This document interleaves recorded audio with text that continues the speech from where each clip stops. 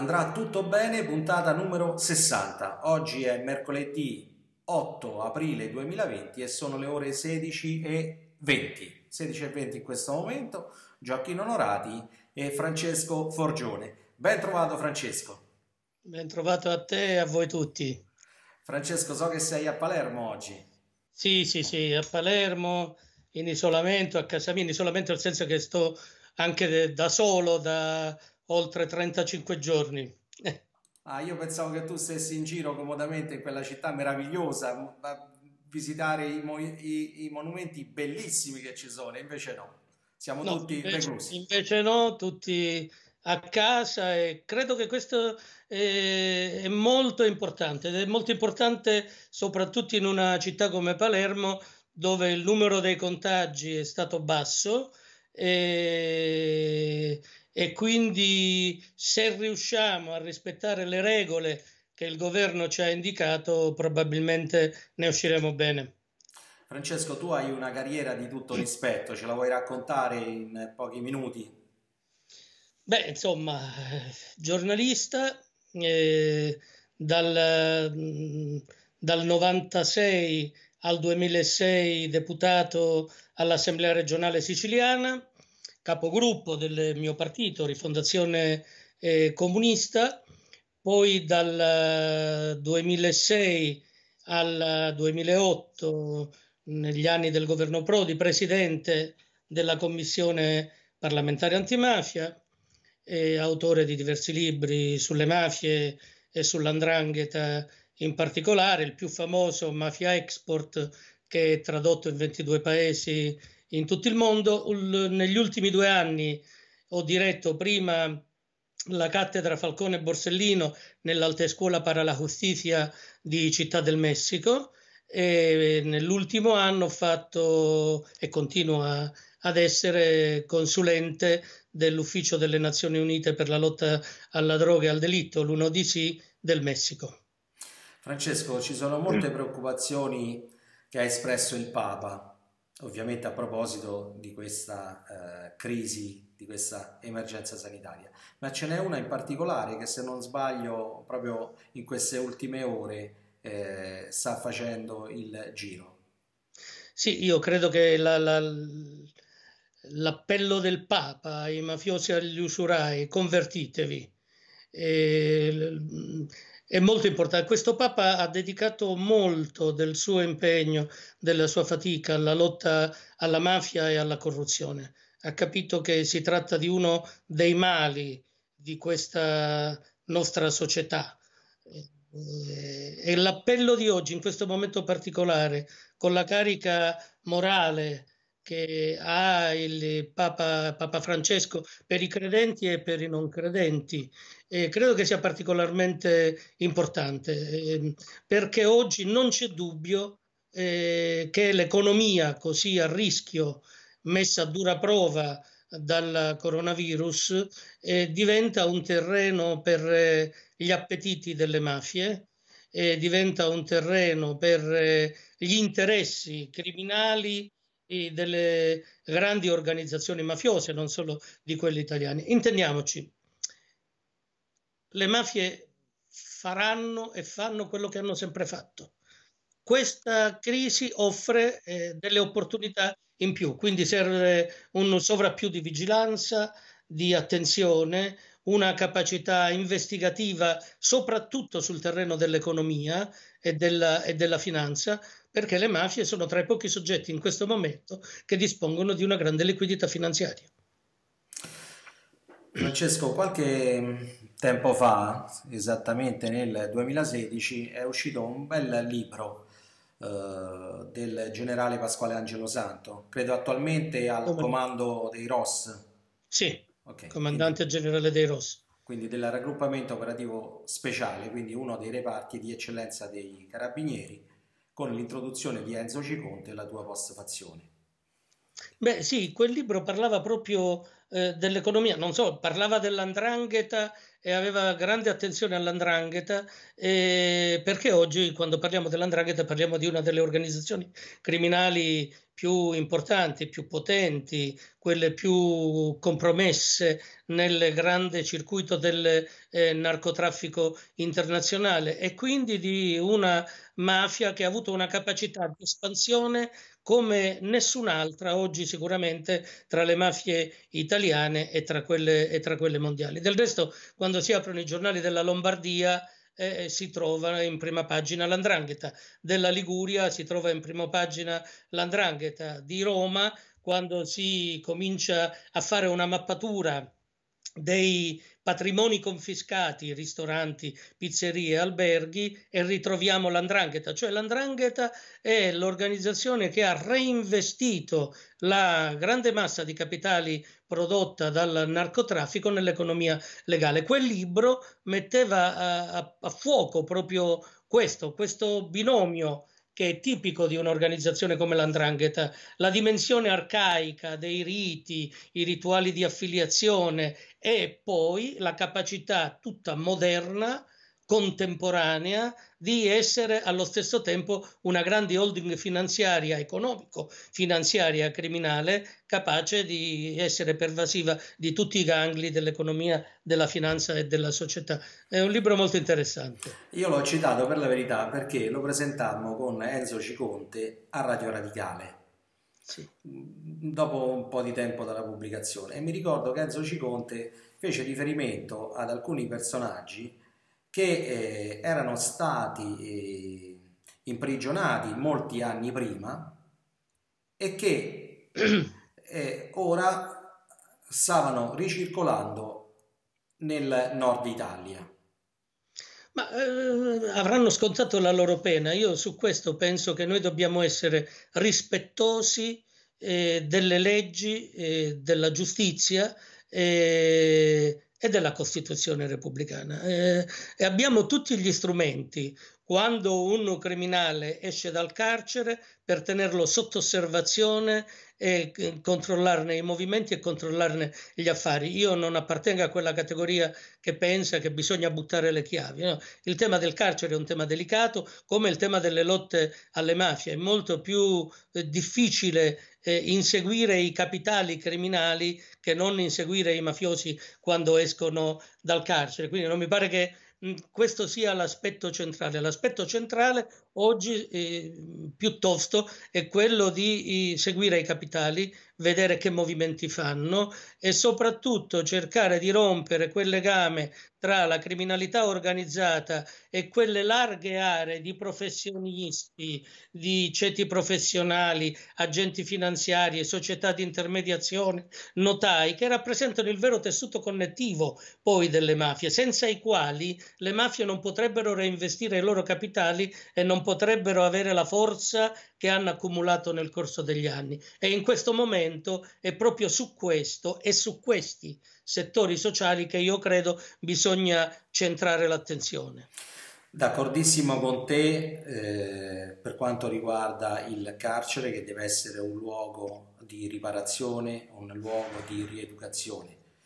Eh, il riferimento a queste persone che uscite continuavano a delinquere lo faccio soltanto per dirti che è un fenomeno che stenta, stenta a spegnersi questo delle mafie, cioè non riusciamo, non riusciamo in qualche modo ad arginarlo. E quando pure delle persone vengono eh, tolte dal tessuto oh, sociale quotidiano eh, e, e messe nelle prigioni, comunque c'è sempre qualcun altro pronto a prenderne il posto appunto perché parliamo di mafie e non di semplici associazioni criminali, cioè parliamo di strutture che vivono di propri codici, di una propria identità, di un proprio senso di appartenenza e di un collante forte che è il potere economico e i rapporti che questo potere economico determina in capacità di condizionamento della politica e delle istituzioni. Per questo quando noi abbiamo a che fare con mafiosi che escono dal carcere quasi sempre non abbiamo a che fare con persone che sono state rieducate ai valori della civile convivenza e al rispetto dei principi repubblicani, ma parliamo di persone che mettono in conto nella propria vita un lungo periodo di carcere come fattore di crescita del proprio appeal criminale e della propria capacità di fascinazione sia sulla cosca che sugli affiliati.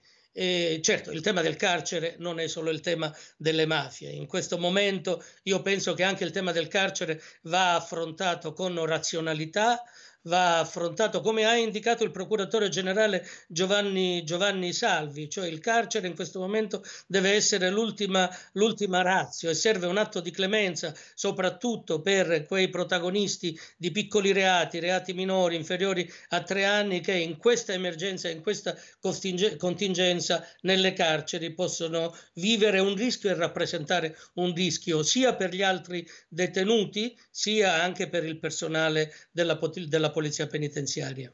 A proposito del fascino sì. del, del mafioso sui ragazzi, come possiamo fare in modo eh, che i ragazzi non lo subiscano più, che si spezzi questo vincolo, altrimenti, altrimenti come diceva un grande generale dei carabinieri, noi staremo sempre a rincorrerli, ma non li sconfiggeremo mai, non li sconfiggere, non mi ma, ma innanzitutto con l'educazione, con l'educazione, con la scuola, con la formazione civica. Eh, un, noto lo sappiamo, ma siamo pronti? Diceva serve un esercito di insegnanti. Siamo pronti, se non ora quando? Eh, noi non possiamo rinviare questo tema, cioè della formazione delle coscienze sociali e civili, ma perché siano credibili eh, le alternative alle mafie è necessario che sia credibile lo Stato, è necessario che siano credibili le politiche pubbliche, che il lavoro venga offerto attraverso politiche pubbliche con interventi dello Stato e non laddove ci sono aree di emarginazione e di marginalità sociale, l'unica istituzione che possa rappresentare una risposta a bisogni eh, che vengono inevasi è quella delle organizzazioni criminali. Se noi non ci poniamo seriamente il tema di come prosciugare il brodo di cultura nel quale le mafie rigenerano il loro potere, il loro consenso e quindi la loro capacità di fascinazione, noi non ce lo faremo. Per questo io penso che l'antimafia oggi o vive di una dimensione sociale o non esiste. Un'antimafia che delega tutto alla repressione e all'azione giudiziaria penale è un'antimafia che non svolge il proprio compito. L'antimafia oggi è una buona sanità, è la tutela della salute, è la scuola nelle aree più depresse e marginali del paese e del mezzogiorno, sono i centri di aggregazione per sottrarre alla strada giovani, bambini, ragazzi, laddove le strade sono luoghi di formazione criminale di esercizio della, della violenza. Quindi l'antimafia deve vivere di questo complesso di, di, di politiche sociali e di politiche pubbliche. Poi giustamente la magistratura, le forze di polizia, gli apparati investigativi devono fare la loro parte, ma noi nelle aule dei tribunali possiamo ottenere soprattutto e dobbiamo ottenere verità e giustizia per le vittime, ma la battaglia contro le mafie la vinciamo nella società non nei tribunali. Francesco, questo lo sappiamo tutti bene, ma quando lo applicheremo? Sappiamo, sappiamo che a Palermo ci sono tante persone, tante famiglie che sono in difficoltà. A chi, a chi si rivolgeranno quelle famiglie? Beh, intanto diciamo una cosa, Palermo di oggi non è la Palermo degli anni Ottanta e non è la Palermo delle stragi. E quelle strade non sono più le strade dove si contavano i morti, ma è una città che è ritornata a vivere grazie a politiche sociali inclusive, grazie alla costruzione di una legalità non astratta e libresca, ma di una legalità fatta di riconoscimento di, di diritti sociali eh, diffusi, di un nuovo tessuto economico. Certo, poi oggi, in questo momento, c'è il problema della povertà e se noi non rispondiamo al problema della povertà con politiche pubbliche di sostegno, anche con un reddito sociale più esteso di quanto non abbia rappresentato il reddito di cittadinanza fino ad oggi, noi non ce la faremo. Certo, la politica non può mandare messaggi ambigui. Se oggi penso alle dichiarazioni del presidente della regione eh, Liguria, una regione fortemente eh, penetrata dall'andrangheta, pensiamo che alcuni comuni, Ventimiglia, praticamente alla frontiera con la Francia, è stato sciolto per inquinamento dell'andrangheta il suo comune. E oggi abbiamo un presidente della regione che dice che in questa fase di crisi per il coronavirus le risposte immediate da dare sono la sospensione del codice antimafia, se sono vere le dichiarazioni che riportano alcune agenzie, la sospensione del codice antimafia, la sospensione del codice degli appalti, le sanatorie per eh, l'abusivismo e per sbloccare e snellire i cantieri persino la sospensione della certificazione antimafia, non andiamo proprio in quella direzione. L'8 gennaio del eh, 2020, quindi qualche mese fa, in tv c'è stata un'intervista a Ottavio Sferlazza. Procuratore di Palmi. Procuratore di Palmi. Ottavio, intervistato, dice noi ci stiamo sostituendo, ma con rammarico, con rammarico, a coloro i quali dovrebbero educare. Esatto, e questo è il tema. Questo non è un tema grave, non, gravissimo. Non, non, non è, è, compito di uno Stato che eh, assume la lotta alla mafia non come un tema da offrire ai governi per inserire nei propri programmi eh, di amministrazione della cosa pubblica, ma la lotta alla mafia deve diventare la chiave interpretativa di una nuova visione dell'economia, delle politiche pubbliche, dell'intervento a favore delle imprese e della ricostruzione anche di un'etica dei comportamenti individuali e collettivi che faccia di quella che Gramsci chiamava una riforma morale della società il terreno vero e il banco di prova vero per misurare le potenzialità criminogene delle leggi delle politiche pubbliche, degli interventi sull'economia. Se noi facciamo questo, allora la lotta alla mafia la facciamo fuoriuscire dalla dimensione penale e giudiziaria e anche l'appello di Ottavio Sferlazza, implicito in quella frase, noi ci stiamo sostituendo alle istituzioni, potrà trovare una risposta. I giovani hanno degli esempi concreti per poter credere all'organizzazione statale? Beh, io credo di sì, non siamo all'anno zero. Eh, le mafie non sono quelle di una volta, non hanno quel potere che, che, che, che avevano, vengono colpite ogni giorno, ogni giorno lo Stato sequestra milioni eh, di euro, confisca patrimoni, ogni giorno lo Stato dimostra di non cedere al ricatto e al condizionamento eh, mafioso e questo riguarda le istituzioni. È la politica che deve operare delle rotture nette, è la politica che deve avere la capacità di non aspettare l'azione dei magistrati che gli ripuliscano le loro liste o che gli ripuliscano i loro rappresentanti perché deve avere e ha, se vuole, gli strumenti per operare una polizia al proprio interno, all'interno dei partiti, all'interno delle istituzioni. E quindi io credo che i giovani possono avere eh, esempi positivi. Del Renzo, se io penso, ora ci avviciniamo al 9 maggio, all'anniversario della morte di Peppino Impastato, dell'omicidio di Peppino Impastato. Beh, ogni anno arrivano migliaia e migliaia di ragazzi a Cinisi a ricordare Peppino Impastato, che fu l'esempio di un'antimafia eh, eretica, ribelle, eh, dissacrante. Oppure se penso anche noi quest'anno, il 21 di marzo, non lo abbiamo potuto, mm, eh, come dire, vivere come lo viviamo ogni anno, la giornata per la memoria per le vittime eh, del, della mafia organizzata da Libera. Lo abbiamo fatto mettendoci tutti in rete e leggendo a migliaia e a migliaia di persone quegli oltre mille nomi delle vittime innocenti della mafia. Però eh, quella giornata è diventata ormai un appuntamento partecipato da migliaia di giovani. Nelle scuole si tengono programmi di educazione alla legalità e di ricostruzione della memoria. Ecco, ma questo deve diventare un terreno concreto e quotidiano di impegno.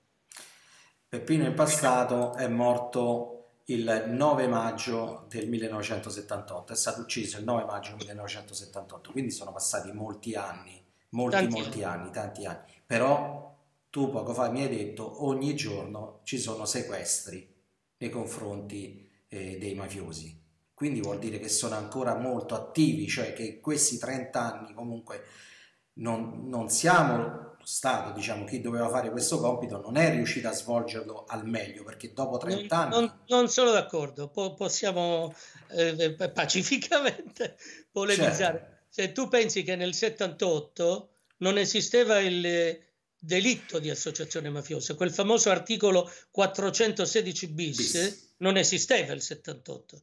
Arriva il 13 settembre dell'82 eh, perché lo approva il Parlamento. E ci è voluto tanto sangue, tanti sacrifici, hanno dovuto uccidere eh, Pio La Torre che era il deputato comunista che lo pensò quell'articolo.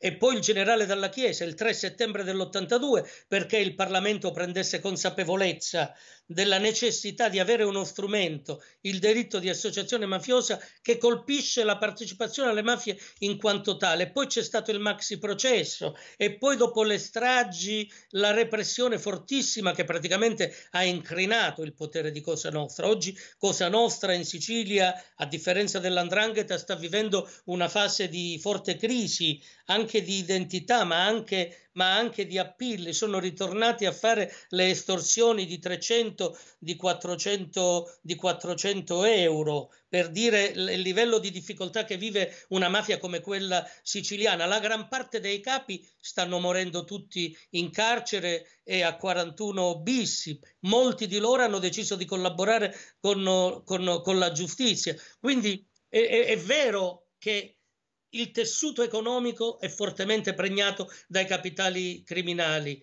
ma questo è un problema che riguarda l'economia e che dobbiamo affrontare perché è lì la forza economica che noi dobbiamo aggredire. Del resto, se tu pensi che solo eh, dieci giorni fa hanno arrestato il rampollo di una famiglia mafiosa, un giovane Molè, a Gioia Tauro e gli hanno trovato in, in una fossa eh, 530 kg di eh, cocaina pura, che non so a quante decine di milioni di euro corrisponde, bisogna fare la moltiplicazione esatta, moltiplicare questi 500 per per 4 perché producono 4 kg di cocaina tagliata e poi per 50.000 quanto viene venduto ogni chilo al mercato. Beh, per fortuna che è in euro perché se fosse in lire non ci arriveremmo proprio. Es- esatto, saremmo a miliardi eccetera. Ecco, allora se tu pensa alla domanda e all'offerta della droga, della cocaina, ai mercati della cocaina,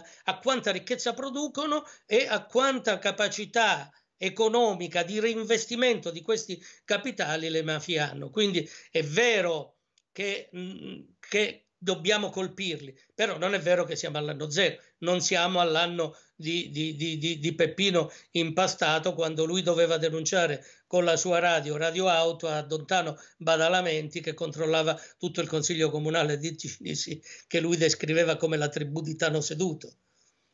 Io spero comunque che si faccia che ci si renda conto che, che questa è un'emergenza molto seria, cioè quella delle mafie, quella della cosa. illegalità. Prego. Mi fai dire un'altra cosa. Noi abbiamo iniziato questa nostra eh, chiacchierata citando il Papa, ma nel 78 era pensabile un Papa che dicesse ai mafiosi eh, convertitevi? Non era pensabile. Per la prima volta un Papa, Giovanni XXIII, che arriva nella Valle dei Templi di Agrigento e dice eh, inginocchiatevi e convertitevi.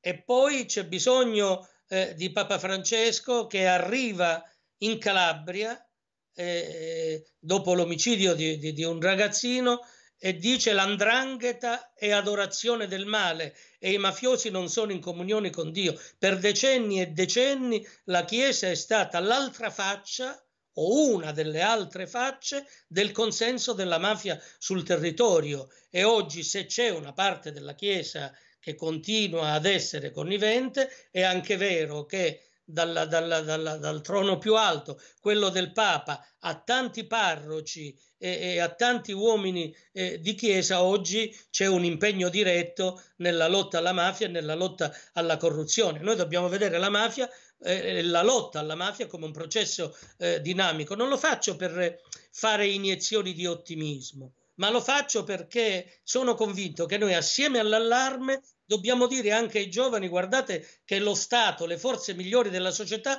ci sono e sono impegnate e, e, e, scegliere la mafia vuol dire fare una scelta suicida. Suicida perché prima o poi in fondo a quel tunnel c'è la morte e suicida perché prima o poi lo Stato vincerà. Certo, su questo non c'è dubbio, non c'è dubbio.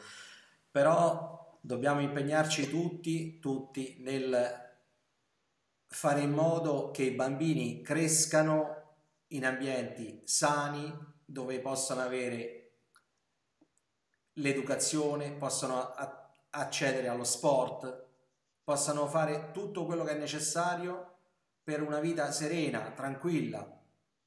Ma guarda, io su questo sono assolutamente... Però in concreto, perché altrimenti fra 30 anni saremo a dire le stesse cose.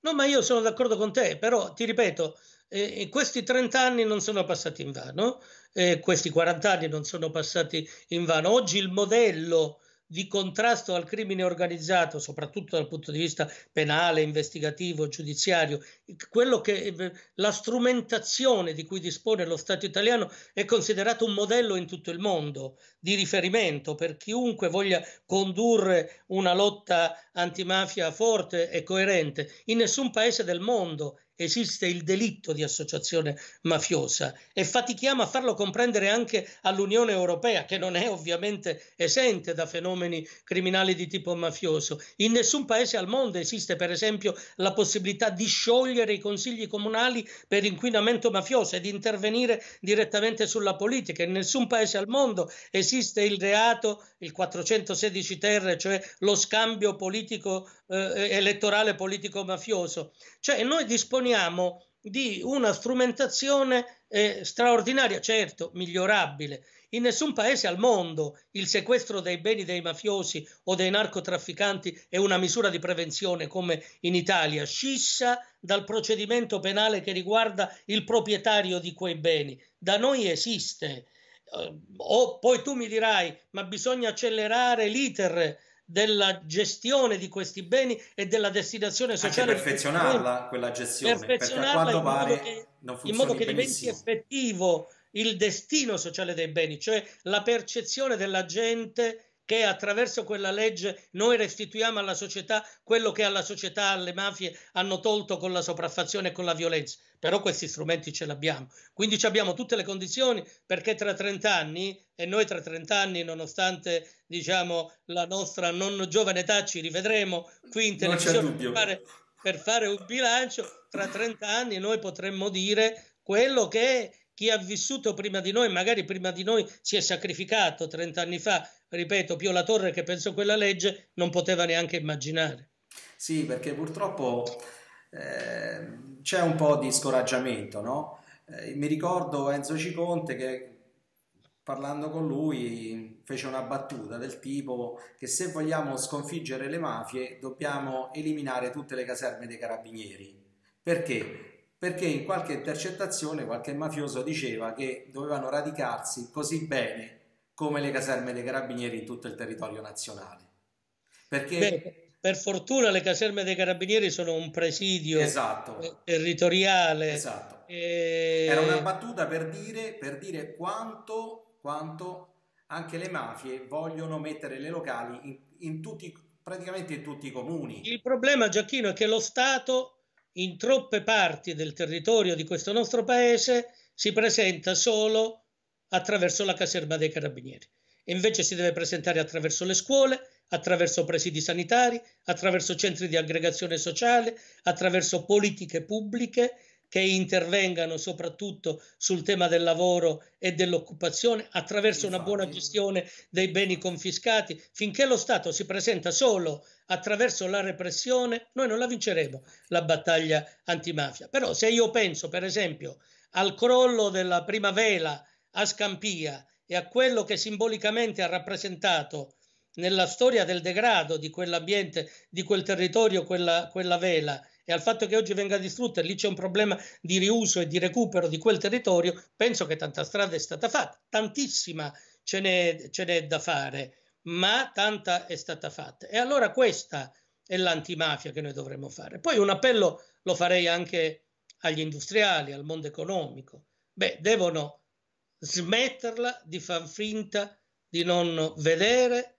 di non sentire il puzzo dei soldi quando quei soldi arrivano dalla, dalla criminalità organizzata, di denunciare, come fece Libero Grassi con coraggio, il proprio estorsore, di non dare i subappalti quando vincono i grandi appalti con le cordate alle imprese mafiose col territorio. Quando io dico ricostruzione di un'etica pubblica, penso all'assunzione di una responsabilità che è collettiva ma che è anche individuale dei diversi attori sociali. Beh, se facciamo questo, l'antimafia continua ad avere un senso. Allora, Francesco, siamo proprio al termine, quindi consideriamola un'emergenza come l'emergenza sanitaria, quindi costruiamo scuole, costruiamo parchi. I parchi non sono belli nelle nostre città, i bambini non ci giocano bene. Costruiamo parchi, costruiamo piscine, diamo la possibilità ai bambini di studiare, di fare tante cose belle, di, di giocare, di allenarsi, restituiamogli gli spazi che non hanno.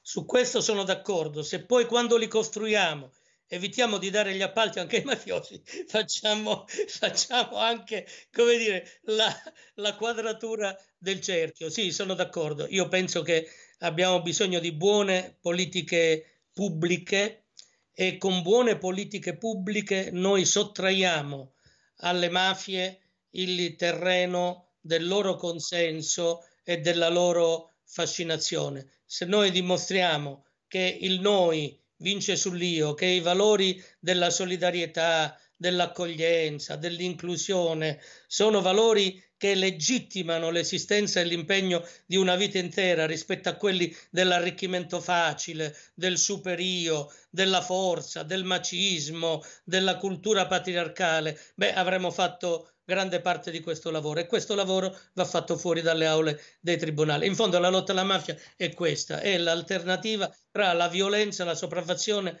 e la democrazia e noi stiamo da un'altra parte. E partiamo dai bambini, partiamo dai bambini, partiamo dalle scuole che siano accoglienti. Partiamo e, da lì. E, e che non è banale quello che dico, non è banale. Non è banale, come, e questo mi fa dire un'altra cosa.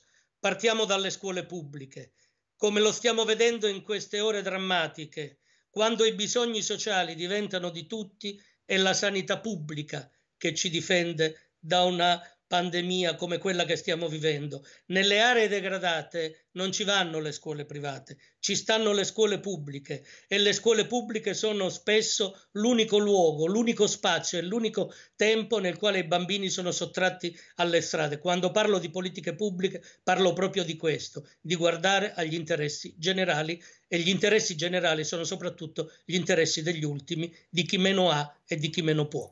Quindi investiamo moltissimo nell'istruzione moltissimo. Grazie Francesco. Grazie, Grazie a voi per questo spazio e questa opportunità. Grazie.